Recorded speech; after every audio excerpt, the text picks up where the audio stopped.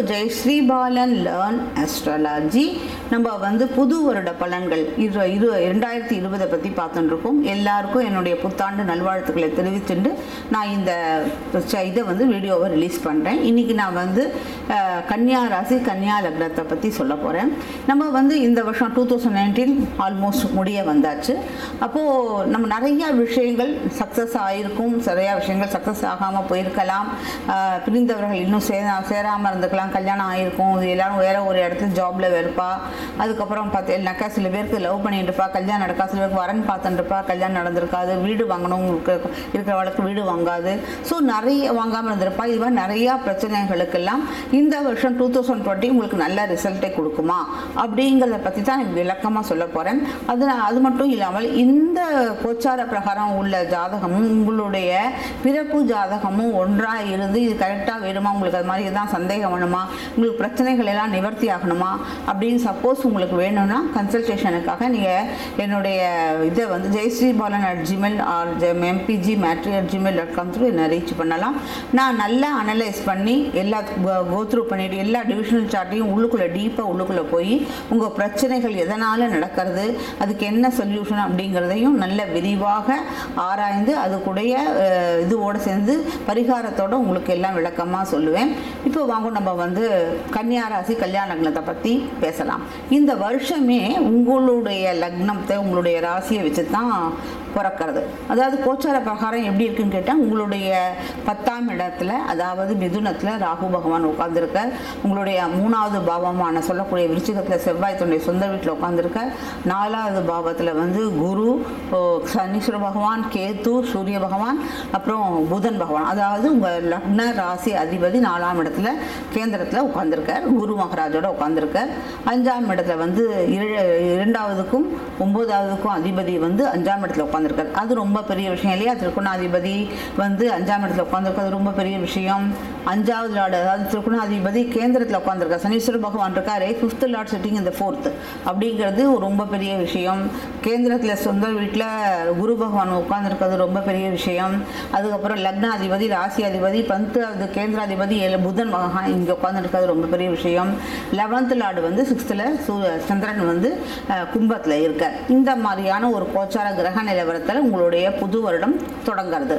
அப்படி பார்க்கும்போது பார்த்தீங்கன்னா மூணாவது முதல்ல நம்ம இப்படி வருவோம். மூணாவது இடத்துல வந்து மூணாவது பாகத்தில் செவ்வாய் பகவான் உட்கார்ந்திருக்காரு. அதாவது நீங்கள் செய்யக்கூடிய தொழிலில் மிக தைரியமாக நல்ல விஷயமா எதுவுமே துணிவு வேணும். ஒரு வேலை செய்யணும் நமக்கு துணிவு இல்லாமல் செய்யும்போது அந்த வேலை சரியாக முடியறதில்ல. நம்ம எதையுமே தைரியமாக துணிஞ்சு நமக்கு இந்த விஷயம் தெரியும் அப்படிங்கிற ஒரு தைரியத்தோட நம்ம வந்து அதை ஆரம்பிக்கும் போது அந்த விஷயம் சக்ஸஸாக தான் நமக்கு முடியும். அதனால இந்த செவ்வாயானவர் உங்களுக்கு தைரியத்தை கொடுக்குற நல்ல ஒரு விஷயத்தை கொடுக்குற. அதுக்கப்புறம் நாலாவது பாவத்தில் பார்த்தீங்கன்னாக்க குரு பகவான் தன்னுடைய சொந்த வீட்டில் உட்காந்துருக்கார் அதுவும் சூரியனோட சேர்ந்து உட்காந்துருக்கார் அப்புறம் வந்து சனீஸ்வர பவன் அதாவது கர்ப்பஸ்தானம்னு சொல்லக்கூடிய ஐந்தாவது இவர் வந்து நாளில் உட்காந்துருக்கார் யாருக்காக இத்தனை வருஷமாக கல்யாணம் ஆகி குழந்தை பிறக்காமல் இருக்கோ அவளுக்கெல்லாம் கண்டிப்பாக குழந்தை பிறக்கும் பிறக்கும். அது மட்டும் இல்லாமல் ஃபிஃப்த்து லாட் ஃபோர்த் லாட் நம்மளுடைய எஜுகேஷன் அந்த எஜுகேஷன் பயங்கரமாக யார் யாரெல்லாம் நல்ல எஜுகேஷன் நல்ல படிப்பு படிக்கணும்னு ஆசைப்படுறாளோ அவளுக்கெல்லாம் படிப்பில் சக்ஸஸ் கிடைக்கும். நல்லபடியாக எக்ஸாமில் நல்ல மார்க் ஸ்கோர் பண்ணி அவள் பாஸ் பண்ணுவாள் அது மட்டும் இல்லாமல் குழந்தை ஒன்று அடுத்து வீடு. பெரிய பெரிய ரொம்ப பெருசு. குரு வந்து ரொம்ப பெரிய பெரிய வீடு கிடைக்கும் உங்களுக்கு. அது மட்டும் இல்லாமல் நல்ல இன்டீரியேஷனோட வீடு கிடைக்கும். இல்லை வீடு நிறைய பேர் இருக்கிற வாழ்க்கை அதுக்கு நல்ல இன்டீரியர் டெக்கரேஷன் பண்ணுவீங்க நீங்கள் வீடு அலங்கரிப்பீர்கள். இது மாதிரி இல்லை படிப்பில். ஏன்னா இவர் இங்கேருந்து பார்க்கும்போது குரு உங்களுடைய பத்தாம் இடத்தை பார்க்குறார். ஸோ உங்களுடைய தொழிலில் பயங்கரமாக விரிவடையும். இத்தனை நாளாக உங்களுக்கு தொழில் வந்து சக்ஸஸ் ஆகலை அப்படின்னு யார் யாரெல்லாம் புலம்பின்னு இருக்கீங்களோ அவளுக்கெல்லாம் ஒரு நல்ல ரெக்கக்னேஷன் கிடைக்கும். உங்களுடைய தொழிலில் உங்களுடைய புதுசு புதுசாக யுக்திகள் கிடைக்கும் உங்களுக்கு. அந்த யுக்திகள் நம்ம நம்ம எந்த நம்ம தொழில் வந்து எதனால் இத்தனால சக்ஸஸ் ஆகலை அப்படிங்கும்போது அதுக்கு ஒரு கரெக்டான விஷயம். நம்மளுடைய தவறுகளை நம்ம உணரக்கூடிய முடியும் தவறுந்து அந்த ச- தவறுகளை உணர்ந்து அதை சரி செய்யும் போது அதுக்கு வந்து நம்மளுடைய தொழிலுக்கு ரெக்கக்னேஷன் கிடச்சி நல்ல சக்ஸஸ் உங்களுடைய தொழில் சக்ஸஸ் ஆகும். அதே மாதிரியே ஃபிஃப்த்தில் அடுங்கிறது சனீஸ்வர பகவான் திருப்பியும் உங்களுக்கு இதில் அந்த இதில் ஜனவரி டுவெண்ட்டி ஃபோர்த் அன்னைக்கு சுனீஸ்வர பகவான் அஞ்சாம் இடம் அதாவது உங்கள் படிப்பு ஸ்தானம் மட்டும் இல்லை குரு தான் நம்மளுடைய தொழில் ஸ்தானமும். ஸோ அதனால் கண்டிப்பாக உங்களுக்கு தொழிலில் சக்ஸஸ் தான் திருப்பியும். இது அஞ்சாம் இடம் கர்ப்பஸ்தானத்தை யார் யாருக்கெல்லாம் குழந்தைகள் பிரச்சனை இருக்கோ அதுவும் சால்வ் ஆகும்.